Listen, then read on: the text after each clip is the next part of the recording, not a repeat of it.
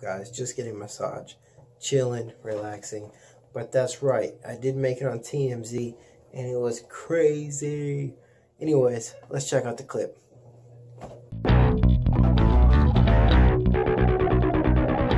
Welcome back to TMZ Live. I still think this is the most bizarre thing this uh, ongoing negotiation between Mariah Carey and James Packer for a settlement when they were never ever married. But now we have found out uh, the terms of the prenup that they were trying to negotiate. And in fact, how, how is months and months ago they intended to be married. So check this out. March 1st, James Packer desperately wanted to marry Mariah Carey in Bora Bora. Problem is, they needed a prenup.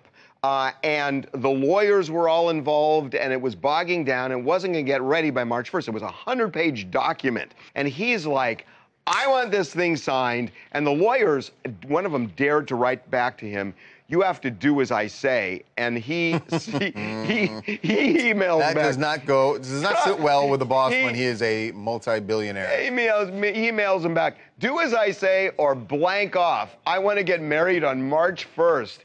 Well, well, uh, there was another problem with this, uh, of course. So he couldn't do it because Mariah still wasn't divorced uh, from Mariah, Nick the problem is that Mariah wasn't divorced. So they're going to have a commitment ceremony, but still they needed a prenup because the lawyers wanted to protect James Packer. Well, and on one hand, we all understand why. This guy has billions of dollars, and of course, it, there's things in the law where if you live as husband and wife, she could have come back and said that whatever, she could have had a lot of his fortune, or some of it at least, from what he earned after that. The problem is, James Packer's, as you said, Harvey, his attorneys and advisors are like, whoa, whoa, whoa, whoa, whoa. You cannot marry her in two weeks from now. This email you're talking about was on February 17th, like two weeks before the marriage was supposed to happen. And they're like, don't do this. Now, what's interesting, we also found out that a broad agreement was made um, about how much Mariah would get if they got married in this prenup, which was 50 million. Hmm, sounds hmm. familiar. Sounds familiar, that number. that number. That now Mariah is asking for the same amount because of the promises he made. Nope, and my nope, guess nope, is the promises is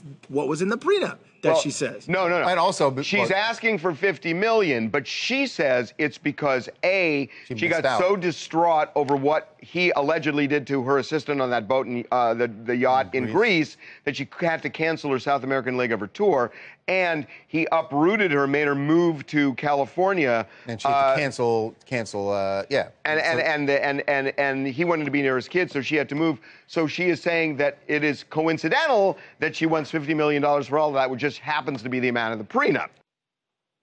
This is Sean from Fremont, California. And I think it's kind of nuts because it's it's an agreement that was just verbal. It never actually went permanent. So uh, I don't think it should be uh, honored. And I think the, the whole situation is kind of nuts. Uh, it's just on a on a verbal agreement and nothing went official. Okay. Yeah. Uh, okay. okay. We can't avoid it any longer. Yeah. Let's rack it up. Here we go. Hate mail.